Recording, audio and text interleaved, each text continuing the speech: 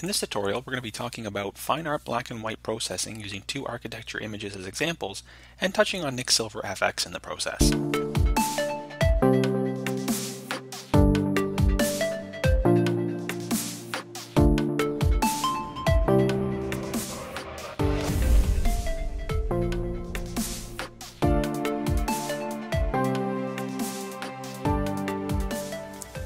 Hi there, Michael Woloszynowicz here. You can find me on Facebook at facebook.com slash vibrantshot. Uh, so today we're going to be taking a look at processing architecture images in a fine art sort of black and white style.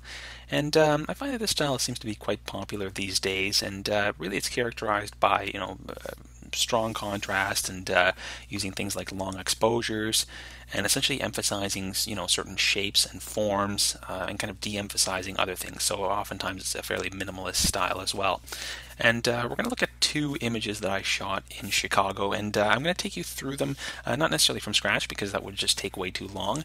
Uh, we're going to kind of look at some of the layers that I've created so that you can replicate the same general workflow and uh, with this one here, we're just going to kind of talk about it from the black and white standpoint from Silver Efex onwards. And then with this one over here, we're going to touch on uh, Silver Efex, or I should say Nik Silver Efex, in a little bit more detail. So we're going to start with the color version, and we're going to kind of build up to uh, to this black and white version over here. So with this image, uh, essentially we have, um, you know, if, if I kind of toggle back to the original image over here, then um, as you can see the image is not bad but it's a little bit flat. Uh, it kind of just doesn't really emphasize any one particular thing. It's just kind of a mishmash of, of shapes. And so um, I did see a bit of potential in this image in these these lines that we have over here. They're pretty interesting. And then we've got some you know kind of opposite um, angles and shapes kind of going through here. Uh, and there's a nice bit of contrast between the windows and you know some of these lighter portions of the building. So um, essentially as you can see if we kind of toggle back to the final version uh, I've essentially played up some of those uh, those lines, you know, really increasing the contrast and, and making a much more interesting image, I think. So um, basically where we started off with, uh, and again, I'm going to cover uh, Silver Efex in a little bit more detail uh, in the next image. So you can kind of just imagine that I've essentially run my color image through uh, Silver Efex to get to this point. Now before that, I also did some uh, perspective adjustments inside of Lightroom. So essentially, I just did some, um, you know, vertical keystone correction, some distortion correction, just to get the verticals nice and straight and get everything uh, kind of cropped the way I wanted to. So with that done, uh, we've got our black and white in place, and then we're going to start building up from there. So the next thing I did was add this layer over here, which essentially just punches up some of these whites that we have over here on uh, the left-hand side of our image. And to do that, basically, I use a technique that uh, you probably would have seen many, many times before in uh, some of my tutorials. Essentially, I go into the channels. I selected a channel that um, that really, with a black and white, it doesn't matter which channel you select, so I just picked one at random. Uh, and I created this layer over here. So essentially I duplicated the channel, did a levels adjustment to bring out just the lights. And then based on that, I can command select that. I can go back into my layers, create a blank, uh, blank layer, fill the selection with white, and we get essentially this layer over here. So um, you can't really see that uh, too well here, but there's basically some white lines uh, within there. So let me just actually, I'm going to create a new layer here, fill that with black. And why are we not seeing that? Okay, well, forget that approach. Uh, just trust me that there is actually uh, white lines in there, and you can kind of faintly see that there. So uh, essentially, I did apply a layer mask to that, so it really only applies onto this side, because otherwise, you know, you see what you get over here, it's not what we want at all. I just wanted to emphasize these little white areas over here. Then the next thing is I added a curves adjustment, and that curves adjustment basically lowers the exposure on the right hand side because I thought that again that was drawing the eye a little too much. We want to emphasize really this side a little bit more than this side. So that curves adjustment just uh, nothing too fancy. Basically, I'm just bringing uh, some of the midtones down and not trying not to affect the um, the actual highlights too much. And again, that's of course layer mask, just using a gradient fill uh, to make sure that it affects only this side. Next thing is uh, this layer mask is a little bit more complicated. Essentially, as you can see, what it does is it brings out those lines uh, and uh, highlights a little bit more. And basically, if we look at that layer mask, we see that this layer mask looks something like this. And so um, another reason why I'm not starting this from scratch is because to uh, create these selections did take a little bit of uh, a little bit of time. I just used the pen tool and I made selections around these uh, lines over here so that I could bring them out a lot more within this curves adjustment. So as we can see that curves adjustment primarily affects those lines. And then finally we have another curves adjustment over here, which um, as we can see it um, brings everything uh, down in exposure, particularly uh, the midtones. But again, that affects only sort of the opposite thing. So it doesn't affect some of these white lines that we have. It doesn't affect these um, these angled lines as well. It really just focuses on um, everything that's that's largely black. And so I really did that just by kind of almost creating an inverse of this. Uh, this particular layer mask over here uh, with some additional adjustments. So that's basically uh, what I did to create this image. So overall, it's it's pretty straightforward. Really, all we have is um, three curves adjustments and a, uh, and a fill, white fill layer, essentially, uh, that was created again just using a channels-based selection. So that's that image there. And we're going to move on to the second image where we essentially started with this color photo over here. As you can see, it's not terribly exciting, and so obviously I wanted to make it much more interesting. So starting off with the color image, uh, basically I the first thing I wanted to do was make the sky a little bit more interesting because in its current state it's obviously not terribly interesting. What I really liked about the uh, image itself was this kind of highlight that we have going on in the building uh, and this, you know, like gradation of color and also the vertical lines that we see is a nice mix of shadow and highlight here. So that part I did like, but unfortunately we had a clear sky essentially that day and it's just not terribly interesting. So um, rather than kind of make a completely dead section of image here, I decided to add some uh, interesting sky effects. So to do that, basically I had um, some long exposure skies shot. And so if we go into the sky section over here and we enable that, um, essentially it just creates something like this. And I did that just through uh, several pieces that essentially are these blurred skies. So uh, I took my sky that I'd shot and I cut out a couple of different sections of it. I applied it, rotated, used um, the transform tool to kind of get it into place where I thought it would look good. I did use some blend if, some layer blend if here, so as you can see I didn't want to bring in uh, too much of the darker portions, I really just wanted the, the brighter highlights, so that's why um, you see I'm kind of blending this area in, and I pretty much did that on every one of these little individual pieces. So with those pieces, the next thing I did was I just adjusted um, the brightness of them with the curves adjustment. So that's uh, basically I've just brightened them up a lot because as you can see the original ones were gray and that's really not what I wanted. I wanted uh, white clouds. So I just brightened that up a whole lot and I I made that as a clipping mask. So it's a clipping mask for these uh, for all these different parts here and it shouldn't affect the rest of the image. So with our sky in place, the next thing I had to do was to sort of isolate the building on its own. And so to do that, I just uh, essentially used the polygonal lasso tool and just kind of created a selection around this, uh, given obviously that this is a fairly straightforward selection. It took no time at all just to use that. Uh, obviously, with a more complex selection, you may have to use a pen tool and uh, spend a lot more time on it, but in this case, it was very simple. So if we turn on the building itself, we'll just bring back our sky here. Now, as we can see, the building has been put over top of the sky. So whereas before uh, the sky was covering things, uh, now we actually have it over top. And uh, I did make some curves adjustments over here. As you can see, the building itself is a lot darker. So um, in between here, unfortunately, I don't have the layers uh, on me, but I did uh, essentially darken the building itself because I thought it was just a little bit too bright in its uh, current state. So that's really all that was done in the middle there. And I did actually brighten out the Conrad sign because I did want to make that pop a little bit more. So that again was just uh, doing a selection through here and just brightening it up using a curves adjustment. So that just that layer is there essentially on its own. So now moving on to the next thing. Originally I was kind of thinking that I may want to keep this in color, so I made some color adjustments and overall, you know, I kind of like the color that we had, but I just felt that it wasn't an interesting enough image in color, so I decided to move forward with a black and white process on that. So next thing we're going to look at is the dodge and burn. Uh, now, essentially these color adjustments, I'm not going to cover these too much because that's not really the subject of discussion for this particular video. We do have a separate video on adjusting colors, so I pretty much used all the same things that, uh, that you've already seen in there. In terms of dodge and burn, I just used our curves dodge and burn method that we again discuss in the dodge and burn video that we have. And so for that, um, I basically created a whole series of levels adjustments here, and each of those masks out certain areas. So if we just enable our dodge and burn here, we see that I've essentially just masked in some of these verticals very carefully, uh, and just really, you know, highlighted the areas that I think uh, deserve the most attention. And so I did like those verticals from the start. So that's why I decided to sort of brighten the lighter ones, darken the darker ones to really kind of give it a little bit more of a three-dimensional texture. And then with that done, the next thing I did was essentially created a um, stamp visible layer out of what we had there. So if we just hit Command Option Shift E, that's going to create our stamp visible layer for all of this stuff down here. And then we can actually move into Nik Silver Efex. So we're going to go into Filter, Nik Collection, Silver Efex Pro 2.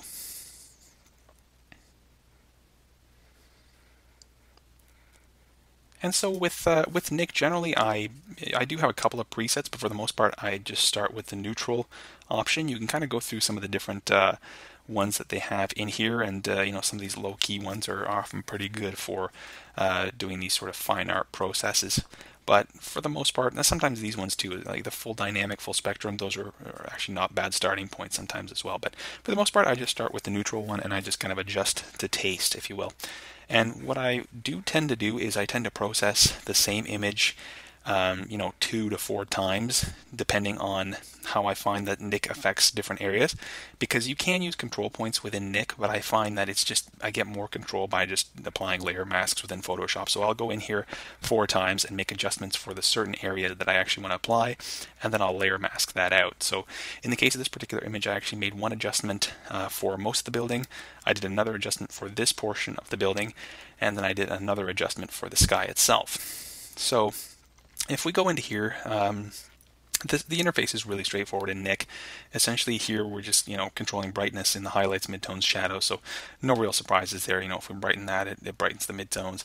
If we, or I should say, highlights. If we uh, slide this, obviously it brightens the midtones. Uh, really basic stuff. Now, dynamic brightness basically just brightens the entire image overall. So you can think of that almost like a exposure adjustment inside of Lightroom. Contrast, as you would expect, obviously adds um, contrast to the image, so again, no surprise there. One thing I wish that they did was that if you can double click on things, it will reset them, but um, that doesn't seem to work uh, like it does inside of Lightroom. So just so you know, you have to adjust the sliders if you want to kind of get back down, or just click on the number to get back to zero if you ever want to. Now in here, uh, basically this just kind of pump, pumps up the whites, which again is um, is nice to do in fine art. Obviously, um, you don't really tend to use the whites too much in fine art. I find the blacks is something that you tend to use a lot more often. So this is definitely a slider you're going to want to experiment a little bit with. Soft contrast is kind of an interesting effect. Essentially, it just uh, determines the sharpness of how that contrast is applied. And as you can see, um, when you kind of slide it, you can almost see the application of this within fine art. Like this particular highlight that we had in this gradation is really nicely affected by it, but obviously it completely destroys all of this stuff here, and we don't really want to lose all that detail, and we don't want to wash out our sky. So this is again another reason why I tend to um, you know, process the image two or three times and then mask that out. Essentially, what I would do is maybe I like something like this for this portion, so I'll apply that. Then I'll create a selection again using the polygonal lasso tool and just kind of cut that piece out and then process the rest of the image separately and just kind of merge them all together. So that's something you can definitely do.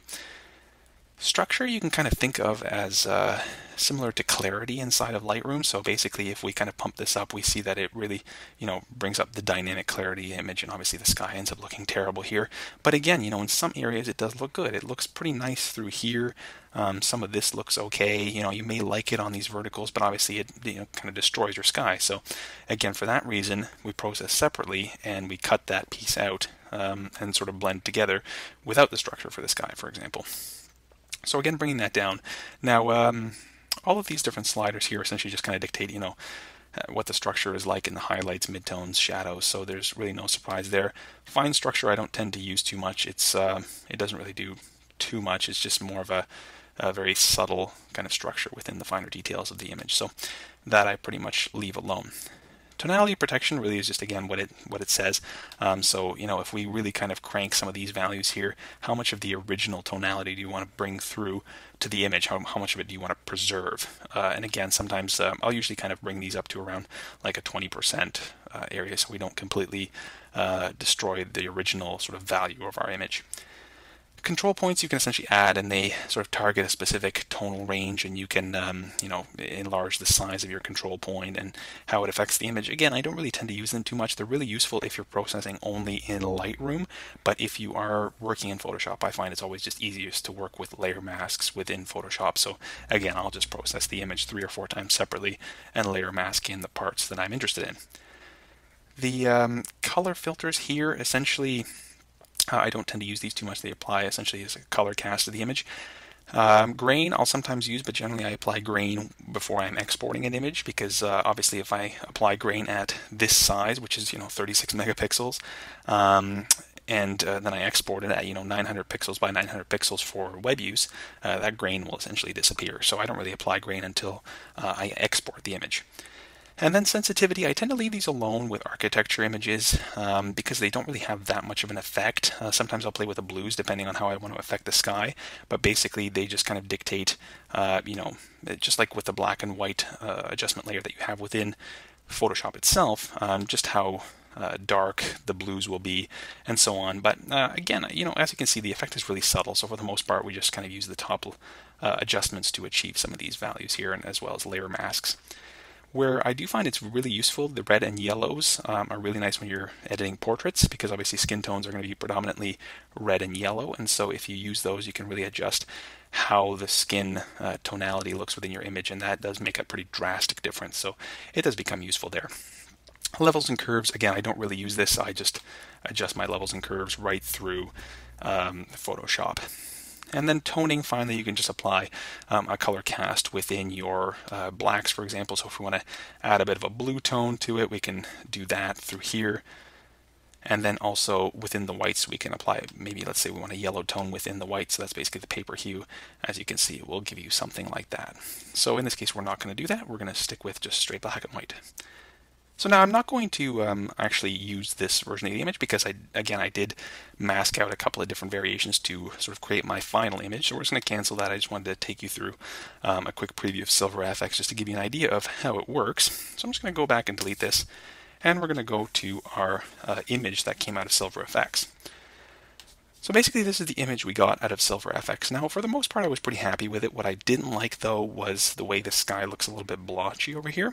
So to fix that all I did was um, I did have my sky essentially isolated over here and we did have um, within here we've got our selection essentially if we just hit command on that as we can see it'll just bring back my selection. So I isolated my sky and then I just applied um, uh, motion blur essentially to the sky just to kind of get rid of some of that patchiness. And so to, you'll see what that looks like. Essentially, it has just nicely smoothed out those uh, those textures for us. Next thing I had to do was to mask out again just the um, uh, because if we kind of look at this and we toggle it on, you see that that motion blur did soften the edges over here. So we just want to make sure we bring the building right back. And I did apply uh, a ton of extra contrast to this. So I did an additional Silver Efex um, processing just for the building. So I brought that back up over top of it. Then um, this is essentially just a blend of the two, so this makes no difference, this layer over here.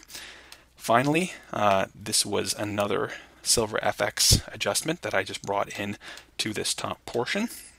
So that again was just that uh, use that uh, soft contrast adjustment that we saw there to really bring this, uh, make it a little bit brighter. Then I did a, an overall curves adjustment to that just to kind of darken the whole image. So no real uh, surprise there, just lowered the overall uh, brightness of our image. And I just did one final little curves adjustment with a circular gradient over here to bring in a little bit of a highlight. So essentially we've gone from this fairly flat looking color image to something that's a lot more interesting in black and white. So I think that that whole edit probably took me uh, maybe 40 minutes to do. So it's not a terribly uh, difficult thing to do, and it's not terribly time consuming to get to this point. So I hope that that uh, gives you at least a good starting point into how to make these um, these fine art images. The best thing to do is just to kind of scour the internet and find what style works for you, and just kind of experiment with the tools um, that you see here. Largely, again, it's just curves adjustments, and uh, I do really recommend Silver Efex as a good tool for creating your black and white. It just gets you there a little bit faster, and uh, I find it does produce a really nice result. So until next time, uh, be sure to subscribe to our Facebook page. Uh, if you go facebook.com slash vibrantshot, just like us on there to make sure you don't miss any updates, and also to subscribe to our YouTube channel. We'll see you next time.